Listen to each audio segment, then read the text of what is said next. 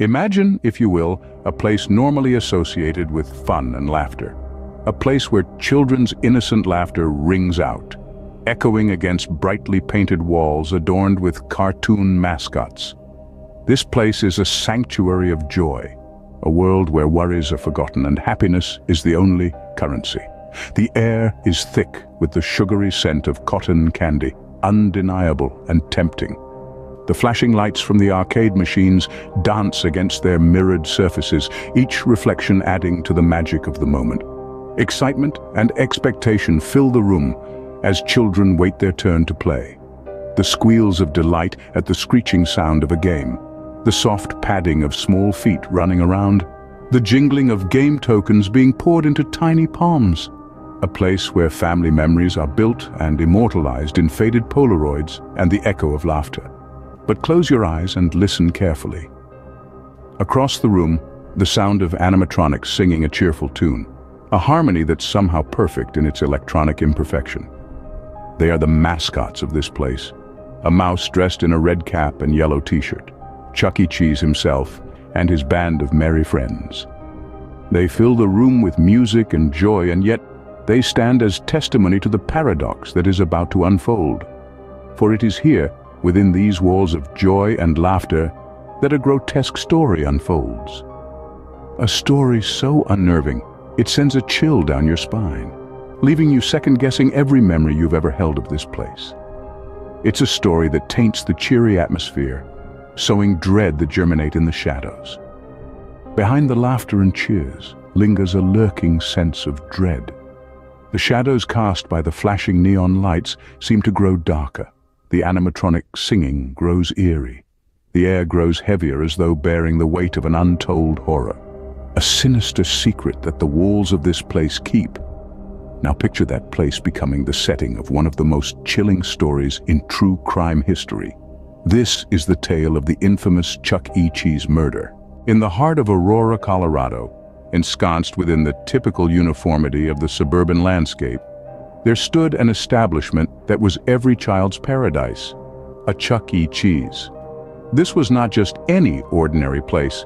It was a magical kingdom that transported many young hearts into a world of enchantment and thrill. A world where time seemed to halt, where laughter echoed in the air, and the gleam in every child's eyes mirrored their innocence and joy.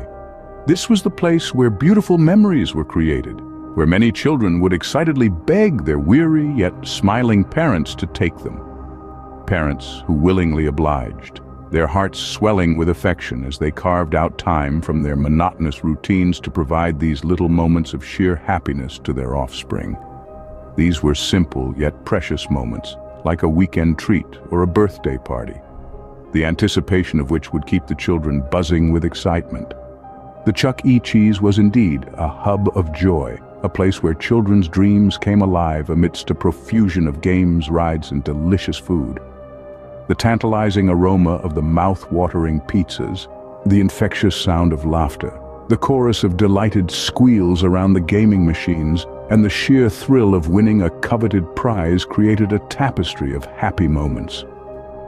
And then there were the birthday parties, the centerpiece of every child's year a time when the birthday boy or girl would reign supreme, basking in the warmth of their friends' cheers and the glow of their own special day. These were the days when Chuck E. Cheese was not just an establishment, but a world filled with joy, laughter, and most importantly, love. However, one fateful evening in December 1993, this celebration of life and innocence, this hub of joy and laughter, was abruptly interrupted. The enchanting kingdom of children's dreams morphed into a chilling crime scene. The echoes of laughter were replaced with an eerie silence, and the once vibrant hub was now shrouded in a horrifying cloak of dread and fear. Nathan Dunlap, a discontented former employee, was the architect of this abominable act. He was just an average guy, not particularly noticeable or particularly anything. He had previously held a job working at a local store, where he was known as someone usually reliable. But over time he became somewhat defiant, developing a pattern of issues that eventually led to his termination. After being dismissed five months prior for a string of infractions, a deep-seated grudge began to form in his heart. The firing had hit Nathan than anyone could have imagined. It wasn't just about losing a job, it was the rejection, the humiliation, the loss of dignity that came with it. He felt a certain sense of betrayal, as he had given so much of his time and energy to the company that now had discarded him like a mere object. His life, which had been going along at a mundane pace, turned into a whirlpool of anger and resentment. He spent the months following his dismissal in a dark place, with every passing day fueling his growing grudge. He was nursing this resentment, allowing it to grow, to fester, to boil within him. His mind, once occupied by the regular troubles of life, now harbored a malevolence that was far more sinister. He thought about his former workplace, the faces of his former colleagues, the laughter, the camaraderie they shared, all of which he was no longer a part of. And then that fateful day arrived. A day like any other, with the morning sun rising and setting, turning into a quiet night. But inside Dunlap, a storm was brewing, a storm that had been gathering force for the past five months. As the day slowly turned into night, he could bear it no longer. The grudge he had been nursing had reached its peak. He made the decision. It was time to act. Dunlap, with malevolence in his heart and a plan in his mind, decided to act on his simmering resentment. He entered the establishment just after closing time. The unsuspecting staff, busy with closing duties, failed to perceive the danger lurking in their midst. Dunlap, fully aware of the restaurant's layout and routines, managed to catch them off guard.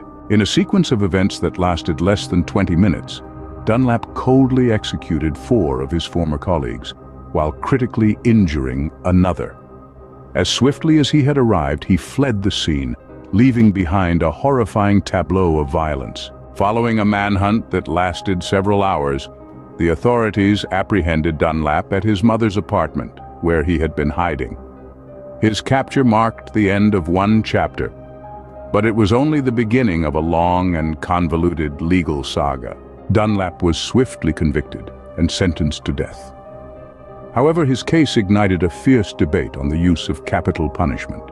His sentence was postponed several times, and in 2013 the governor of Colorado granted him a temporary reprieve. The Chuck E. Cheese murder case serves as a stark reminder of how places often associated with happiness can become the backdrop for grim and unexpected tragedies. It's a narrative that forces us to confront the complexities of the human mind and the societal implications of crime and punishment. Dunlap's story has been studied, dissected, and discussed in various forms of media, from news outlets to true crime podcasts, each time stirring a mix of emotions from shock to fear, from disbelief to contemplation. It's a tale that, despite its gruesome nature, continues to fascinate and horrify in equal measure. In the end, the Chuck E. Cheese murder isn't just about the act itself, but about the ripple effects it had on a community, a state, and indeed, a nation. It's a chilling testament to the darkness that can lurk beneath the surface, even in the most unexpected places.